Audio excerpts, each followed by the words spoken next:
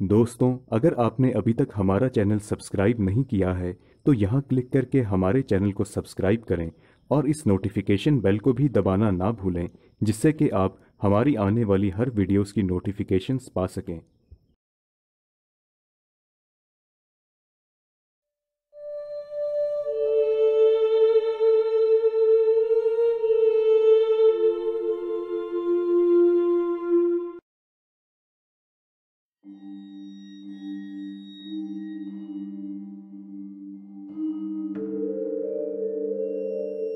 मेरा नाम रमेश कुमार है।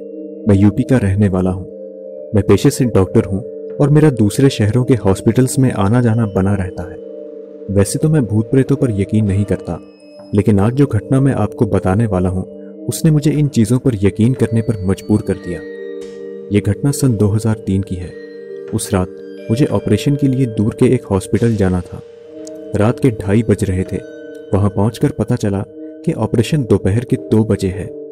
बाहर तेज बारिश हो रही थी तो मैंने हॉस्पिटल में ही रुकना ठीक समझा। करीब तीन बजे मैं कॉफ़ी लेकर बैठा ही था कि तभी मुझे आसपास किसी के होने का एहसास हुआ। मुझे लगा कि शायद ये मेरा वहम हो, लेकिन कुछ ही देर बाद मेरे बालों पर किसी ने फूक मारी। मैंने पीछे मुड़कर देखा तो वहाँ कोई नहीं था। मैंने तुरंत अटेंडेंट के पास जाकर उसे सब बताया, लेकिन उसने मेरा बिल्कुल विश्वास नहीं किया, बल्कि ये कहा कि बाहर तेज हवा चलने के कारण आपको ऐसा लगा होगा। वैसे भी मुझे काफ़ी नींद आ रही थी तो मैं बेंच पर लेट गया।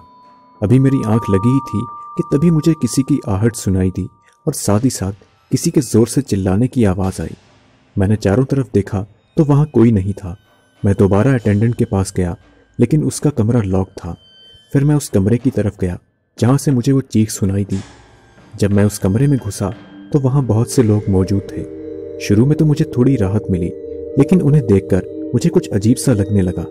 मुझे लगा कि अब यहाँ रुकना मेरे लिए बिल्कुल भी ठीक नहीं है। मैं निकलने ही लगा कि अचानक ही उस कमरे का दरवाज़ा अपने आप बंद हो गया। और जब मैं पीछे मुड़ा तो उन लोगों के चेहरे पर एक डरावनी सी मुस्कान छा गई। मैं किसी तरह अपनी जान बचाकर वहाँ से निकला तो बाहर मुझे एक बूढ़ा आदमी मिला। जब मैंने उसे सारी बात बताई तो वह बोला, साहिब, आपने जो कुछ भी देखा और सुना, वह एकदम सही है। इस हॉस्पिटल के बनने से पहले यहाँ पर एक कब्रिस्तान हुआ करता था, जिसे तोड़कर एक हॉस्पिटल बनाया गया। इसलिए यहाँ पर अजीबोगरीब घटनाएँ होती रहती हैं। मैं तुरंत वहाँ से भाग निकला और भगवान का शुक्र है कि मैं सही सलामत अपने घर पहुँच गया।